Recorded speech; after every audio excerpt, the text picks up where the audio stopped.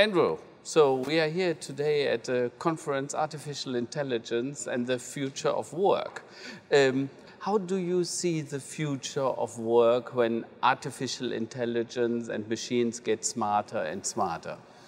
I see what's happening now as another example of a pattern that we've seen before, which is that when a very, very powerful technology appears in the world mm -hmm. and starts to spread throughout an economy, it always changes the world of work. And in particular, it shifts the kinds of jobs that we need people to do. Mm -hmm. And it shifts the kind of skills that people need to have mm -hmm. in order to get one of those jobs. What I don't think is happening right now is that we are witnessing the end of work. Okay. And that because of AI, we're going to have massive technological unemployment in just a few years. It's okay. interesting, if you go back and look at history, every time uh, one of these very powerful technologies comes along, whether it's steam power or electrical power or the mm -hmm. internal combustion engine, there's yes. always this wave of fear that we're going to have massive technological unemployment. And all of those fears have been wrong, yes. and all of those predictions about the jobless future have been wrong.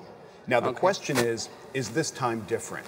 Yes. And at least in the short term to the medium term, I do not believe that this time is different. I think okay. that what's going on is we are witnessing a big shift, a big uh, period of progress with technology. Yes. Changing our economies, changing companies, changing jobs, changing skills. Yes. But we've seen this before. Yes. Now, what I don't know is as AI continues to progress for 30, 40, 50 more years, we have this yes. amazing progress right now.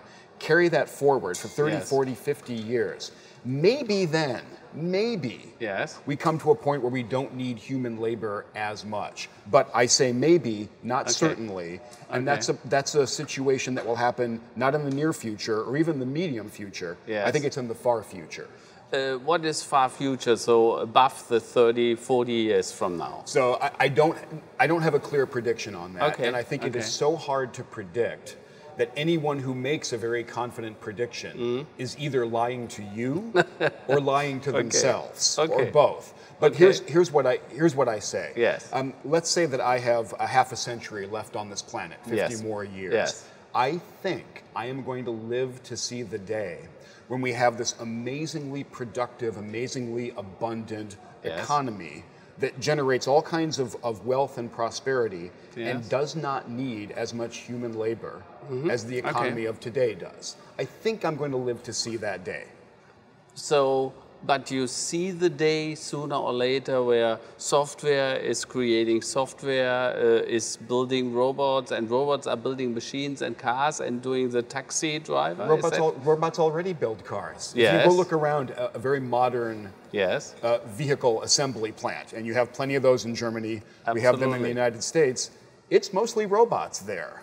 So yes. we absolutely already have machines building machines. That is not anything new. I think okay. we're going to have more of it. Yes. But again, that is not something amazingly new.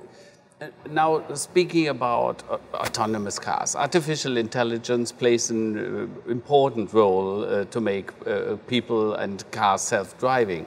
Uh, what do you think how soon will we see self-driving trucks, self-driving cars on, on highways or yeah. even in our cities? What do you think? And the people who work on autonomous vehicles talk about different levels of autonomy. Yes, that's true. And there's level five, which is the car can drive itself yes. completely without human involvement mm -hmm. under any circumstances. Yes. And everybody that I talk to, everybody that I respect mm-hmm. on this topic, says that's a long way away. Okay. Driving in an unfamiliar environment when there is snow or sleet, when the roads yes. are bad, when it's nighttime, uh, uh when something unexpected happens, that, that is extremely hard to do. Okay. However, if we back up one step from that and we talk about level 4 mm-hmm. which is completely autonomous driving in a more controlled environment. So, yes. for example, yes. on the highway, mm-hmm. between Dallas and Los Angeles mm-hmm. or between Munich and Stuttgart. Yes. Can we automate that? I think we can pretty quickly. That yes. is a known environment, and especially if we say not in every weather condition. So yes, only when yes. the weather is pretty good yeah. can we have autonomous car- cars and trucks on that highway. Okay. Yeah, I think we can do that pretty quickly. What would you suggest for a government, for the society, and recommend what they should do in regard to be prepared for the development? Because sooner or later it is going to happen.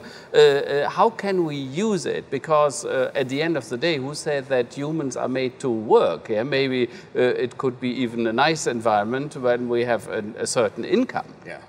Uh, the, the, first thing to keep in mind, and I, it's even, I feel foolish even having to say this, yes. but the first thing to keep in mind is that technological progress is not our enemy. Yes. It is our friend. In yes. other words, what technological progress does is make us wealthier, healthier, gives us yes. more options, gives us more opportunities. I yes. feel silly even saying that, but these days I hear a lot of commentary mm-hmm. that kind of says technological progress is bad because yeah. it's putting people out of work or it's giving us all these uh, undesirable things. That, that's wrong.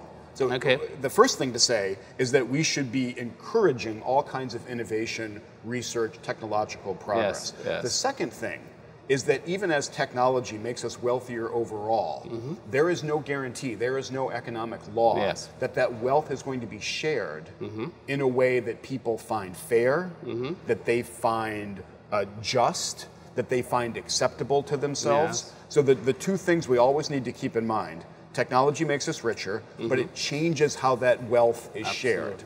And so when I think about smart things for governments to be doing, yes. they need to keep both of those in mind. Mm-hmm. And if they if there are a lot of people being left behind by yes. this period of technological progress, we have we have interventions. We have things that can help. We have social safety nets. We yes. have retraining. We can we can change our educational system. We can and should do all of those things.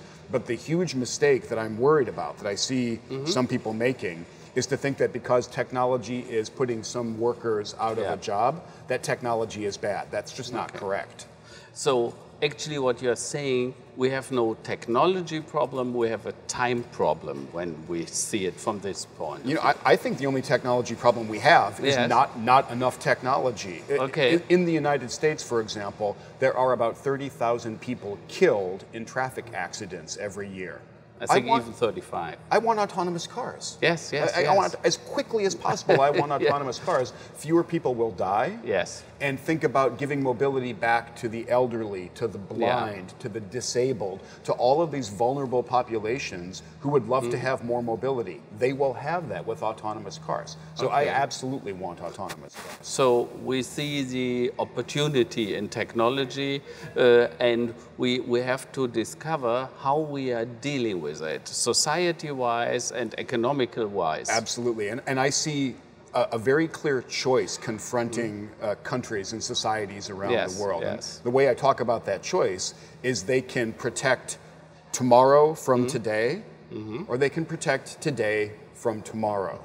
yeah. And I, I have I, I have a very clear opinion on this. I want to protect yes. tomorrow from today yes. because tomorrow is going to be better.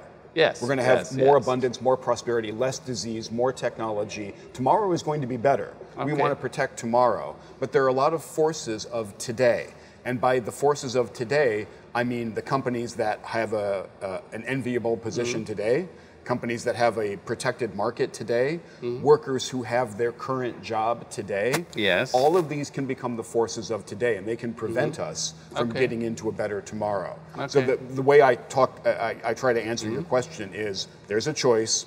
We we always want to protect tomorrow from today. Yes, and uh, how do you see uh, the problem with inequality, platform economy?